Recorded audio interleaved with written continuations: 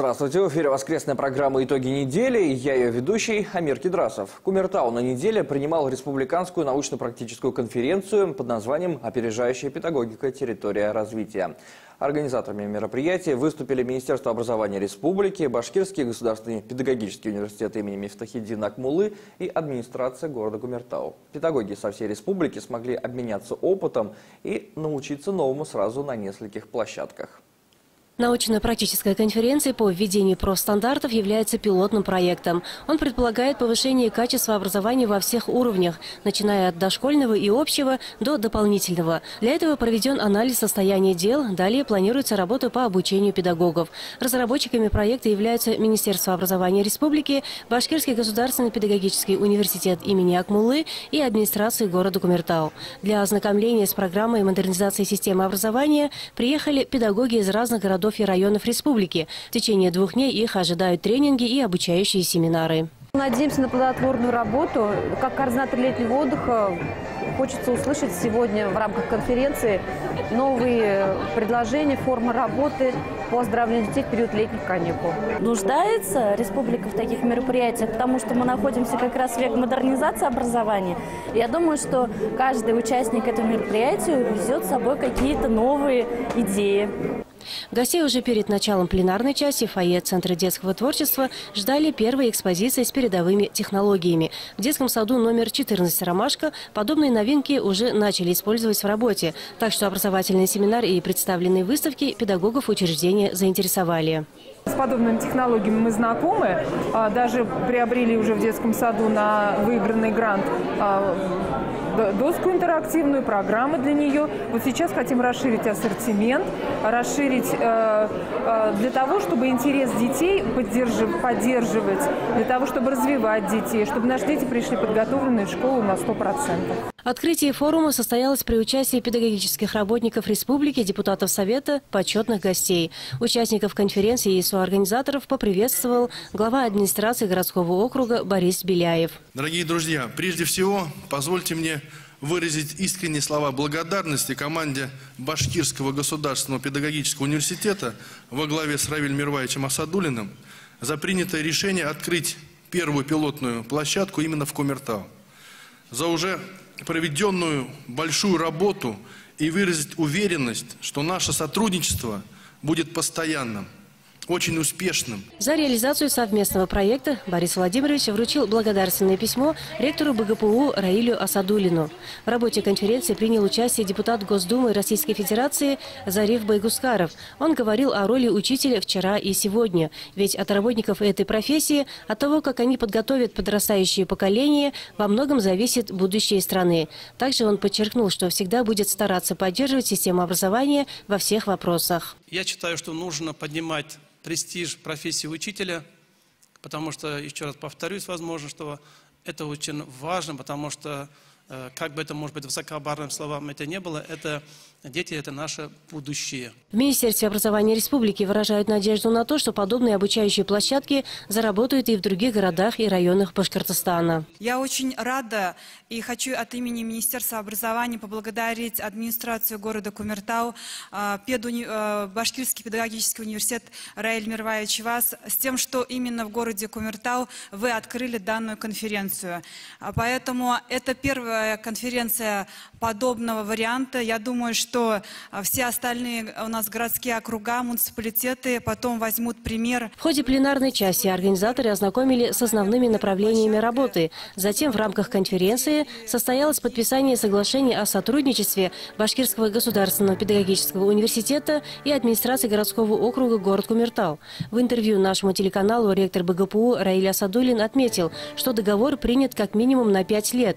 Суть реализуемого проекта в том, что здесь не будет указаний сверху. Развитие должно исходить изнутри, отметил он. Модернизация системы образования требует и новый статус муниципалитета. Я хочу воспользоваться предоставленной возможностью поздравить Кумертау вот, с достижением того, что они стали как бы территорией опережающего развития. Естественно, что вот э, это экономический проект и социальный проект, но решить эту проблему без Э, свежих мозгов, свежего подхода к решению проблемы, наверное, невозможно. Поэтому э, мы сегодня вместе с системой образования города Кумертау э, должны модернизировать систему образования, чтобы она отвечала вызовам опережающей экономики, опережающего производства. Живой интерес у гостей вызвали представленные выставки с обучающими технологиями. Надо отметить, что в ЦДТ в скором времени планируют запустить детский технопарк с подобным оборудованием. Ну вот как можно было понять из первого материала, в Кумертау побывал депутат Государственной Думы Зариф Байгускаров. Региональная неделя у депутата от нашего избирательного округа выдалась активной и насыщенной.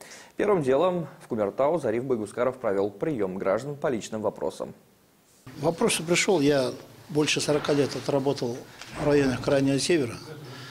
У нас кто отработал большой стаж по, по программе переселения из, работ, из Крайнего Севера, работников, отработавших большой период, есть программа, чтобы посодействовать по межведомственному взаимодействию регионов по последнему постановлению Дмитрия Анатольевича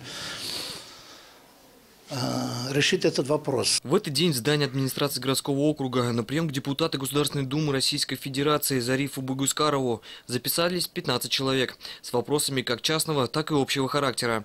В ходе приема от граждан поступили обращения, касающиеся вопросов, начиная от улучшения жилищных условий, заканчивая работой правоохранительных органов.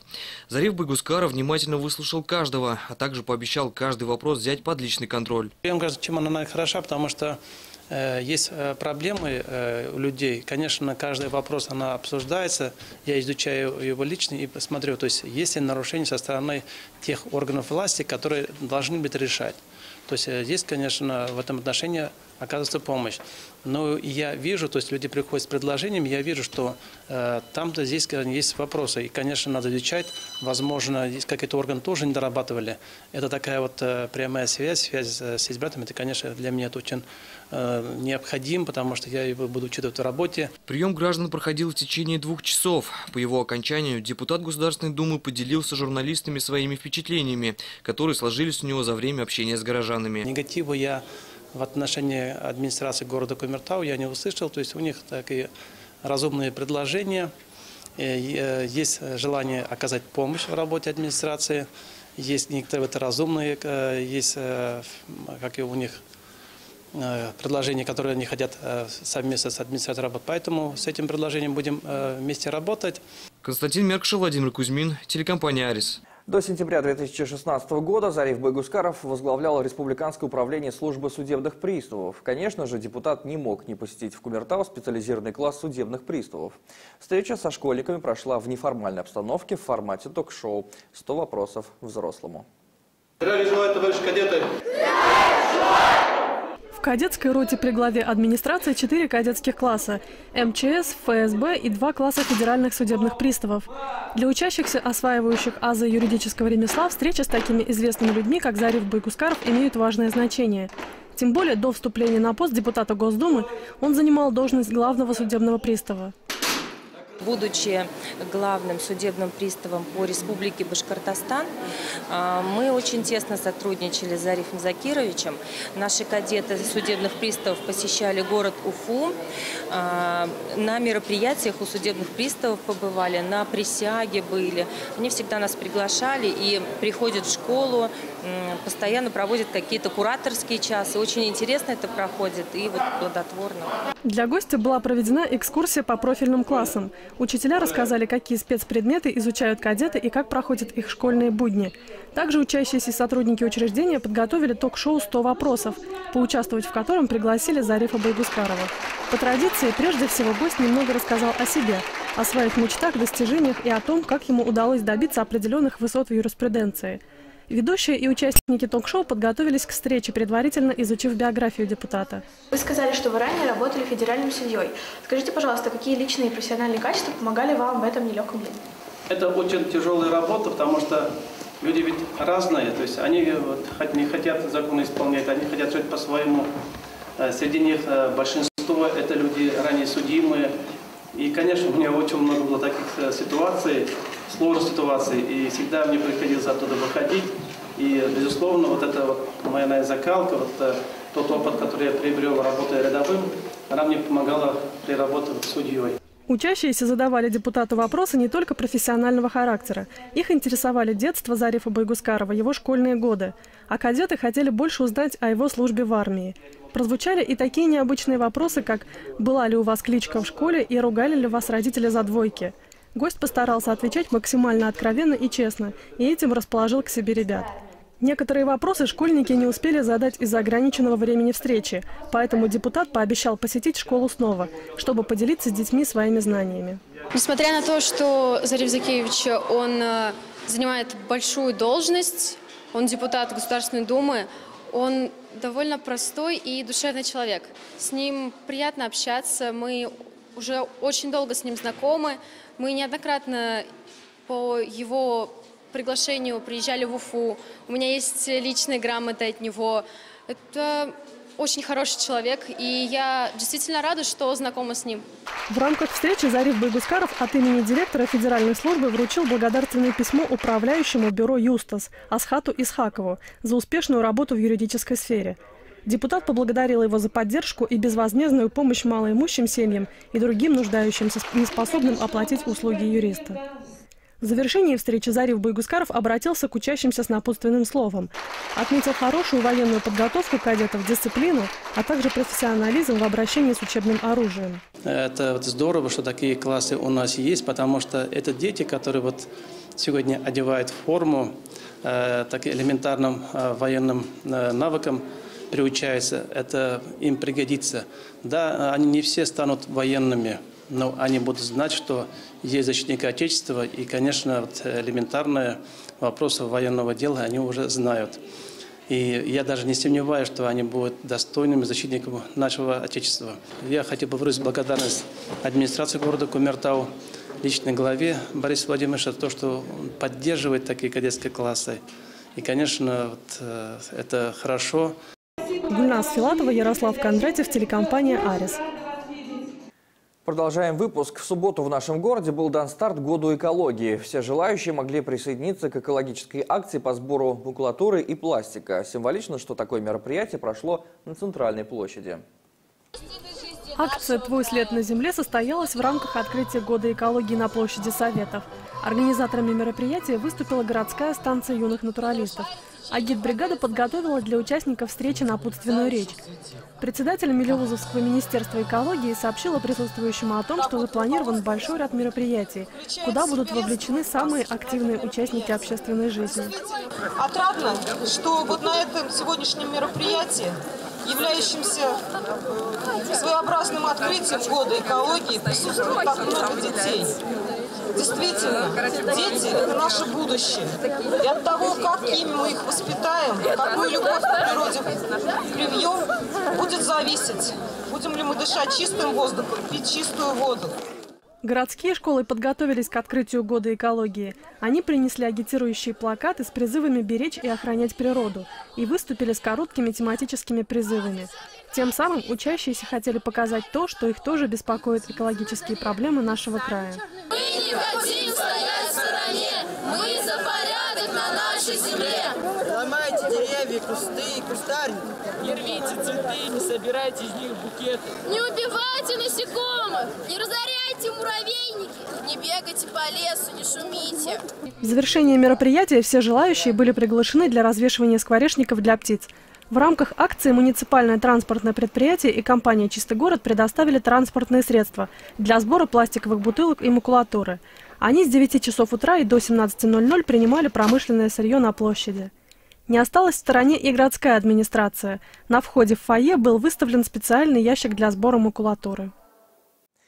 Немногим ранее экологические проблемы города обсудили за круглым столом студенты Кумертауского филиала УГАТУ. Организатором мероприятия выступила Центральная библиотека.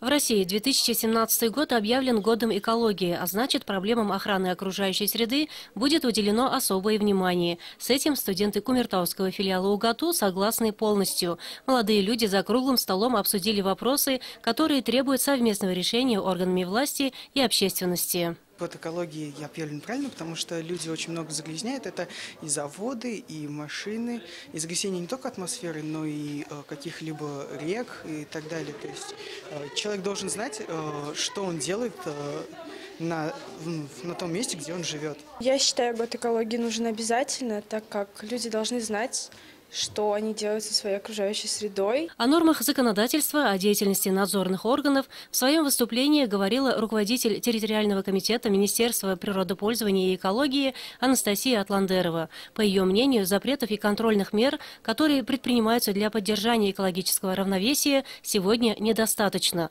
Проблемы экологии прежде всего связаны с деятельностью человека, поэтому для их решения требуется изменение сознания самого человека и его отношения к природе – на данный момент отношение человека к природе является потребительским. Так считает лесной инспектор Стерлитамакского лесничества Игорь Макроусов. Имеются и свалки, засорение лесов бытовыми отходами, промышленными отходами.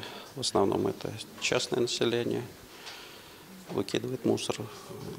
Отдыхающие часто безобразничают, приводя, оставляя мусор после пикников, отдыхов в лесу. Хотелось бы, чтобы вот этого, конечно, не допускали. Проблемой для региона является не только загрязнение окружающей среды. Уничтожение редких видов растений и животных также является волнующей темой. Поэтому в республике нынешний год объявлен годом особо охраняемых природных территорий. В ходе круглого стола студенты предлагали свои варианты в решении вопросов экологии. Айгуль Мухаммедшина, Владимир Кузьмин. Новости. Безопасное пользование газом – тема актуальная и серьезная. Причем в многоквартирных домах опасность может исходить отнюдь не от вас, а от нерадивых соседей. Как газовые приборы и голубое топливо не превратить в источник большой беды, говорили на совещании в Горгазе. На совещании заместитель главы администрации по строительству, ЖКХ и инфраструктуре Юрий Куров обратил особое внимание на рост числа несчастных случаев в многоквартирных и частных домах, связанных с использованием бытового газа. Количество газовых приборов с истекшим сроком эксплуатации растет с каждым днем. Исправный газовое оборудование или нет, во многих случаях узнать нет возможности. Собственники многих квартир просто не пускают к себе специалистов газовой службы. Кроме этого, жильцы сами не хотят менять газовое оборудование, считая, что они еще пригодны в эксплуатации. Мы чувствуем, что проблема эта назревает, и эту проблему надо решать. Видим, что не всегда э, жильцы наши не просто могут купить, могут себе не позволить, а просто вот не хотят этого делать, потому что считают, что э, это будет работать до определенного времени, в то же время опять до определенного времени. Поэтому все-таки меры какие-то мы должны совместно применять. Во многих ситуациях вызывает серьезное недоумение позиция жителей, когда им показывают документальное подтверждение, что, например, дымоход находится в неисправном состоянии или что собственник выполнил самостоятельное переоборудование газовой системы. Жители не предоставляют возможности для проведения необходимых работ. В такой ситуации специалисты просто вынуждены приостановить подачу газа. И жители этим фактом возмущаются, вместо того, чтобы обеспечить собственную безопасность. Замена оборудования, она э, подразумевает подразумевает э, определенные денежные средства вложений. Но как бы там ни было, если есть, допустим, ну, пример ставить, если автомобиль э, старый, 72-х годов, там, 80-х годов, да, копейка, москвич или так далее. Приятнее, конечно, ездить на новом современном автомобиле, также и с газовым оборудованием. Есть проблемы и с внутридомовыми газовыми сетями. В городе предстоит обследовать еще множество многоквартирных домов. Чтобы ускорить этот процесс, было предложено управляющим компаниям завести список, где они будут отмечать замену внутридомовых газовых сетей без процесса диагностирования. И обозначить э, ряд домов, которые уже, по вашему мнению, без проведения диагностики требуют э, замены. То есть те же дома шахтостроительные 35, Худобердина 9. Э, ну, если там уже такие инциденты были, значит, уже эти дома сами по себе напрашиваются на то, что менять надо. Совещание проходило в течение двух часов. Участники приняли совместное решение. Ну и в продолжении темы отмечу, что в Белорецке мужчина погиб от взрыва газа при ремонте холодильника. Сигнал о взрыве поступил на пульт спасателей в 2 часа дня. Спустя 40 минут возгорание удалось ликвидировать. По предварительным данным Следственного комитета, при взрыве погиб 56-летний хозяин квартиры. Его дочь и знакомый доставлены в больницу. Оперативники проводят доследственную проверку, решается вопрос о возбуждении уголовного дела. Спасатели рекомендуют самостоятельно не проводить ремонтные и огневые работы с применением газобаллонного оборудования и заносить газовые баллоны в прогретое помещение с улицы при отрицательной температуре окружающей среды. Теперь о спорте. Город продолжает принимать соревнования по лыжам. На сей раз Кумертау собрал лучших лыжников Юга Башкирии. В борьбе сошлись около 100 спортсменов. Подробности расскажет Константин Меркушев. 3 февраля в Кумертау на лыжном стадионе стартовал зональный этап 19-й спартакиады среди школьников Республики Башкортостан по лыжным гонкам, среди участников Южной зоны республики, в которую входят города Стерлитамак, Ишимбай, Салават, Милюс и Кумертау. Лучшие представители своих городов встретились на лыжне нашего города. Южная зона считается одной из сильнейших в республике, поэтому с самого старта борьба обещала быть напряженной. И даже мороз не помешал началу гонки. У нас э, очень э, уникальное, можно сказать, расположение местности, да, вот лыжный стадион. Если в городе сейчас сметает все, да, здесь, как видите, ветер не такой сильный. Вот. Погода, в принципе, температурный режим разрешает проведение до минус 18 градусов, поэтому, ну, спорт, лыжный спорт первый день соревнований состоялась индивидуальная гонка. На старт вышло 120 юношей и девушек. Среди них две возрастные группы – 2003-2004 и 2005-2006 год рождения. Дистанция у всех возрастов разная – это 2, 3 и 5 километров. На финиш приходит практически без сил, отдаются лыжне полностью. Для некоторых спортсменов и тренеров трасса стала настоящим испытанием. Здесь она всегда не отличалась легкостью из-за перепадов. Поэтому для тренировки, для развитие выносливых лыжников самое, я считаю, подходящее. У нас, в отличие от вас, таких нету перепадов, подъемов и спусков, поэтому нам здесь немножко приходится тяжеловато. Катываться в гонку спортсменам пришлось с пылу жару. Здесь от них ждут только лучших результатов. По ходу дистанции лыжников подбадривали тренеры. Это ли не настоящая поддержка для участников? Маша, давай, давай, давай, молодец, молодец. Давай, давай, давай, давай, давай, давай. По словам спортсменов, трасса находится в идеальном состоянии. Недавно выпавший снег и мороз придал хорошее скольжение по лыжне. Совсем недавно выпал снег и как раз подморозило. И ты лыжня хорошая теперь. А, ну, мне очень понравилось бежать по такой лыжне. А, в принципе, неплохо было. Я немножко устала, но мне понравилось. И я очень рада, что защищаю честь нашего города. И очень рада, что к нам приехали люди с Южной Башки, с Южной Республики. По итогам соревнований единоличное первое место заняла сборная города Кумертау. Теперь наша команда юношей и девушек будет представлять южный регион на главных республиканских соревнованиях. Константин Меркушев, Владимир Кузьмин, телекомпания «Арис». Это была последняя информация выпуска. Спасибо, что были с нами. Удачного начала новой рабочей недели. И до встречи на телеканале «Арис».